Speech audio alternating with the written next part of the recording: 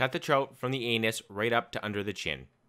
From then, grab the guts, pull them right out. Angle the knife towards the head, cut in. Turn the knife, follow the spine all the way back and out to the end of the fish. Repeat the same process on the other side. Turn the knife, angle it straight out the back. Follow the ribs. Turn the knife slightly up from top to bottom. Cut gently and firmly.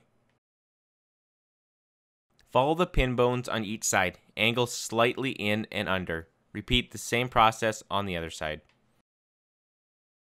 Now pull them completely out. 100% boneless fillets.